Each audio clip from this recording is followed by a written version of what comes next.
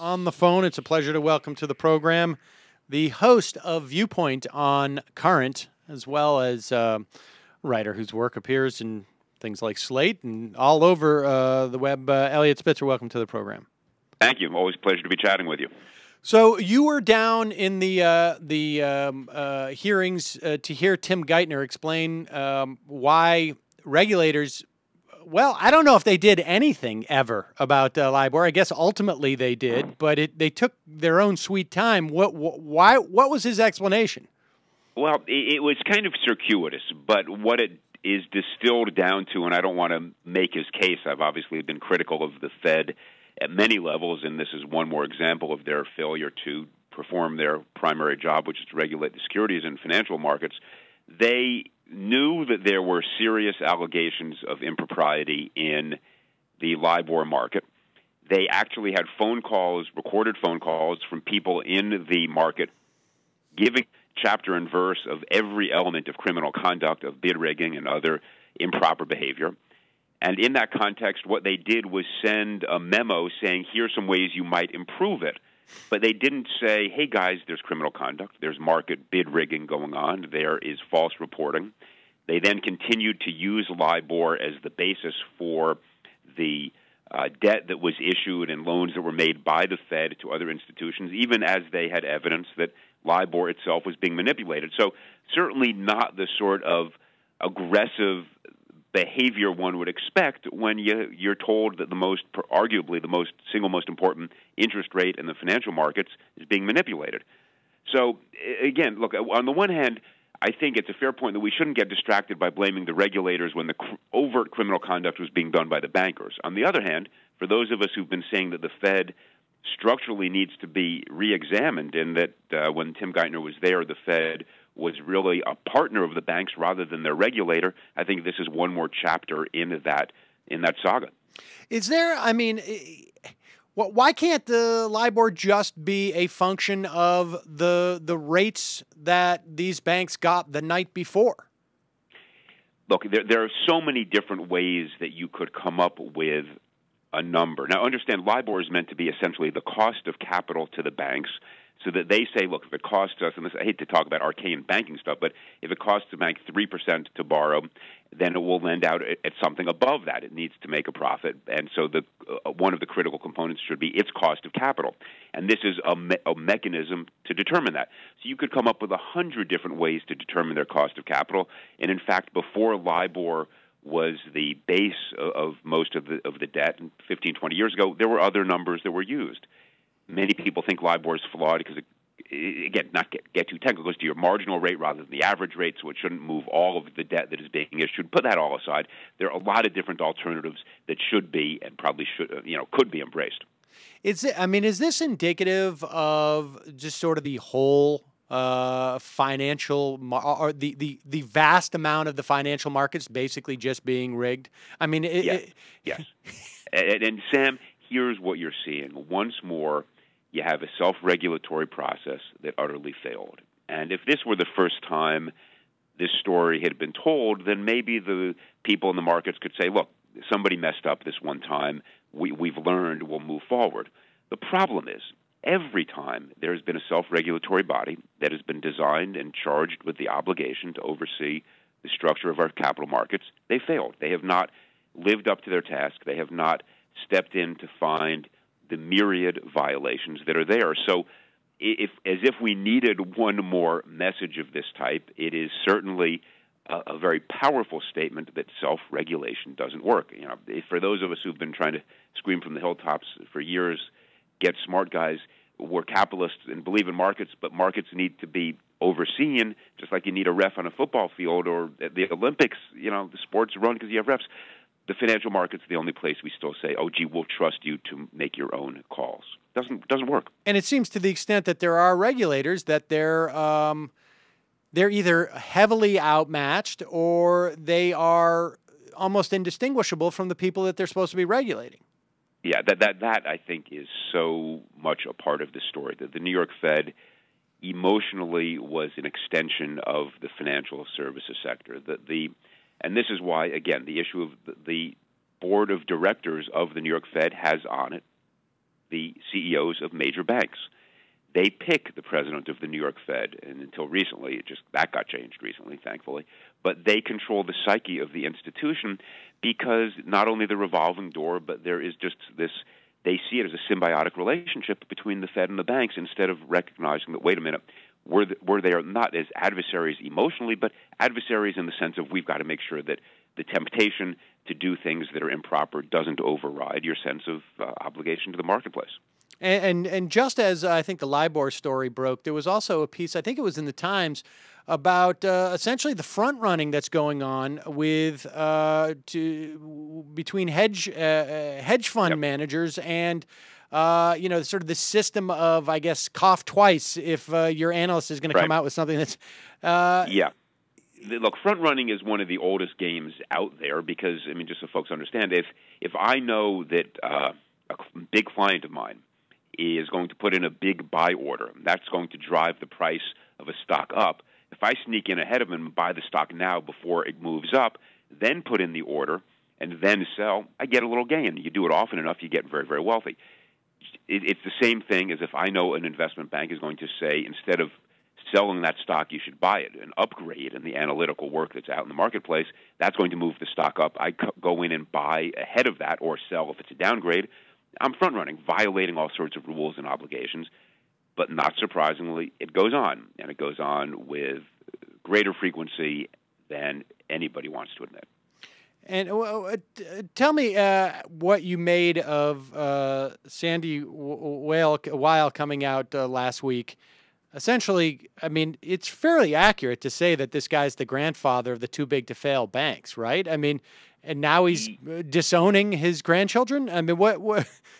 You know, I, I wish it were that simple, but it, you know, this, you know, someday I'll have grandkids. I don't want to let them think it's simple to disown them. I don't plan to do it, but it, this was this was an unbelievable moment. Sandy Weill was the one. He was one of the great deal makers of the '80s. People loved him. He's a gregarious sort he was the one ideologically who said bigger, bigger, bigger. Bigger is better. We want every bank to merge so that you're a commercial bank and an investment bank. He put Citibank and Travelers together and said, never mind that there's a law that precludes it. We'll get Congress to repeal that law. And the financial services industry was so strong, they did. They repealed Glass-Steagall. After they did it retroactively to permit this deal to go through, it was kind of a remarkable parable of how and where the power was. Now, all these years later, he's saying, oops, it didn't work so well. And on the one hand, you want to say congratulations for the intellectual integrity that you you know are showing in in recognizing this and acknowledging the error, and that is important because I think it now leaves the few folks out there who are still justifying those mergers kind of with no friends left. On the other hand, you want to say, man, you're responsible for some really grievous, horrendous stuff. I mean, think what has happened to our economy to a great extent because we completely deregulated financial services. We let this ugly stuff happen. It has destroyed, these bubbles have destroyed our economy. So, on the one hand, yeah, Sandy disowned his, kids, which are the big banks. On the other hand, uh, so you want to say congratulations, but you also want to say you were fundamentally wrong, and uh, now even you acknowledge it. Now, does Bob Rubin have to give back his salary as uh, executive vice president of uh, Citigroup, or, or is that uh, does he get to keep that? Money? No, I, I I think my guess is he's got it well invested. You know, look, th- this is one of the great tensions in the Democratic Party. Obviously, the sort of iconic leaders who were there with President Clinton fully embraced this uh, this move, and Bob Rubin, as you're suggesting, went over to Citibank afterwards. Was the non-executive chair, I think, may have been the title. Got paid oodles of money, um, and you know, this was the ideology that it was those of us who were at the time and for years were saying, guys, this is a dangerous, dangerous path, were in the distinct minority back then, and it was screaming in the wind. Um, I think the, the history is now increasingly written and obvious that it was a grievous error. And uh, when you have Sandy Weill coming out and saying, hey, hey, yeah, not a good idea, I think the story has now been finally concluded. Do you think the Democrats have um, have in any way changed their perspective on this? I mean, I don't see any evidence that they're any less um, uh, sort of, I guess, in the pockets of uh, of the big banks. I mean, I think you know Tim Geithner's um, presence in the administration, and I think you know, uh, and, and and Bob Rubin's influence on the administration, he may have been there were it not for um, uh, a, a, scandal that tied him up. I guess in in, in the fall of 2009 or 2008. Um, is there any indication that the the Democrats have have have changed their perspective on this in any shape or, or manner? Well, I would say somewhat. I mean, not enough, obviously, but I mean, certainly with with respect to Tim Geithner, I think not nearly enough. And, and uh, Tim was not, even when Dodd Frank was moving through, was not a fan of the Volcker rule. Was not a fan of of the necessary steps that, and positions and policies that were put in place in Dodd Frank. Some of which are good, that are uh, critically important. Barney Frank pushed a good bill. It doesn't go as far as I would like. There's something called the Safe Banking Bill that would go farther, but I think some voices there were uh, Sherrod Brown and others were pushing uh, a, a more fundamental restructuring. So there are voices in the Democratic Party that are better. Treasury Department was not among them, and I think over time, again, that is becoming increasingly clear. I think what we've got to do now is make sure that since we're not going to get any new legislation through a Congress constituted as it is right now with uh, Republicans controlling the House, and as you say, the Democrats not pushing anything more vigorous. What we need to do is make sure that the Volcker rule is properly and, and, rigorously interpreted to at least minimize the risk from proprietary trading that can still be imposed on the system. I, I don't know if you've had a chance uh, to read the book. Obviously, you've got you read uh, the you, you, you, have a lot of people on to interview. You got to read a lot of books. I'm in the same boat, but uh, right. Uh, have have uh, has um, uh, Barofsky uh, Neil Barofsky's a book, who was the former uh, Inspector General of the TARP. Has there been any uh, revelations that you think came out of there that uh, were were new, or uh, I mean, I mean, well, certainly look, some of the specifics they were, but yeah. Here, here's what I'd say. Neil is a, is a friend, and I think it's a spectacular book. I don't know. I think thematically, it is again additional evidence of what we knew, suspected, believed. I think he tells it. It's a great book. It's a great read. He he and I had him on the show uh, last week. He tells the story with a texture and with a granularity that makes it real in his personal interactions with Tim Geithner and the battles he that he waged to make the Treasury Department more and TARP the TARP program more sympathetic to homeowners. For instance, when the Treasury Department was bailing out the banks, it did not do anything of magnitude for homeowners, and and that was both wrong ideologically and wrong economically. The the weight and the drag on the economy because homeowners are still burdened by too much debt that has not been probably uh, reformed is what's keeping our economy from, or at least one of the factors that's growing, keeping our economy from growing. But Neil tells the story in a spectacular way. He's a good storyteller, and he, he was there in the trenches, so I think he can bring more than an academic light to it it seems to me that the the big I think the I mean there were many who who sort of suspect this from from an outside perspective, but there seems to be almost a hostility. Well, I, I, a hostility towards homeowners. I mean, when you look at HAMP and how it was designed, I mean, we all know that it was incredibly ineffective at mm-hmm. uh, providing um, uh, loan modifications for underwater homeowners, but uh, it really does in in in his telling, seem less about incompetence, but in fact achieving exactly what the goal was uh, from the administration perspective, which is essentially just buy the banks more time with the hopes that somehow things will turn around.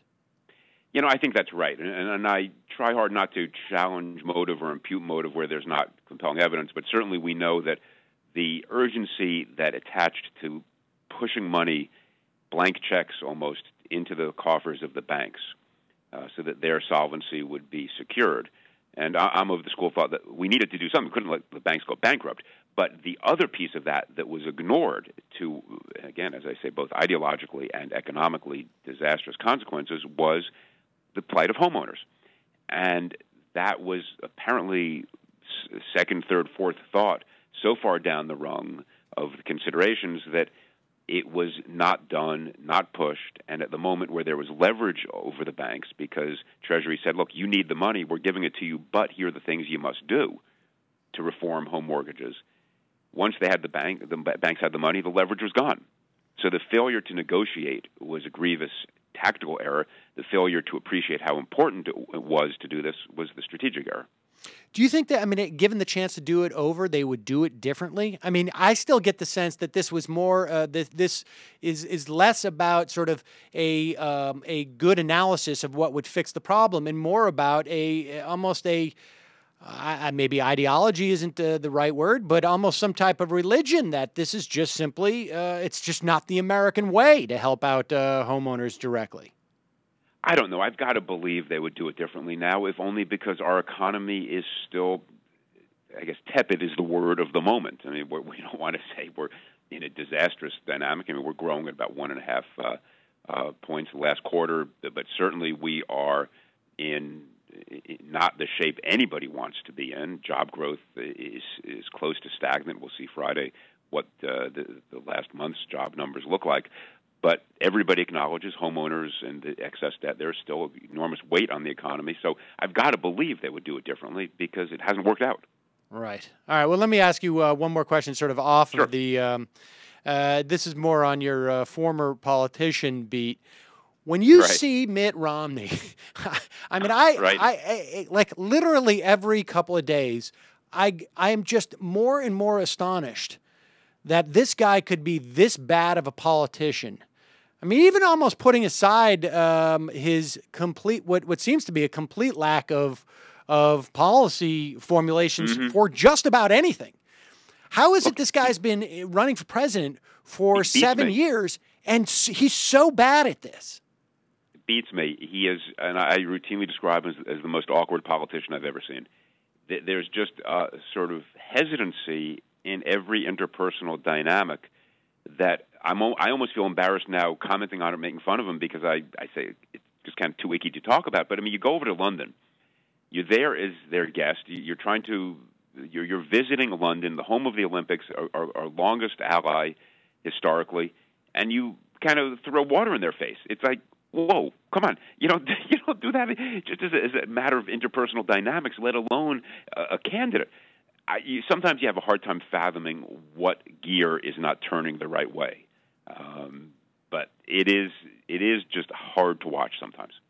Does this guy have advisors? I mean, I don't. I mean, I don't. Like, I don't understand how this happens. I don't because it seemed like he you know, he wasn't really. This was not a hard question that he got from Brian Williams when he did that. I mean, this was no. a, this was a, a total throwaway question. He seemed like he was hitting talking points, like he wanted to remind people of what he did, and it seems completely tone deaf. You know, it, it, it could be that he. I mean, this is the best defense I've heard of him in, in this context.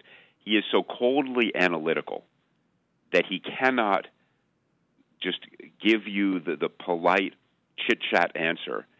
How do you find London and you're ready for the Olympics? Instead of saying, "Oh, it's wonderful, it's great, I can't wait. Here's my favorite event," you know, this is I can't wait for the opening ceremonies. It's going to be cool. Just something that that nobody will remember, but is pleasant and, and upbeat. Instead, he's got to give you the well. You know, I saw three things that didn't go quite right, so let's talk about them. It's like, whoa, guy, chill out, be normal. I, I don't know. I, I I don't get it but uh, who am I to say? I would love to see this guy like being invited to a wedding and just watch him show up and just be like, "This band is horrible. Wow, I hate that gown that she's wearing." I mean, this yeah, is just you know, this is it's just unbelievable. something hard to fathom. It really is. something is. hard to fathom. Well, uh, Eliot Spitzer, uh, host of Viewpoint uh, on uh, Current. Thanks so much for uh, taking the time to speak with Sam, us. Sam, always always great to chat with you.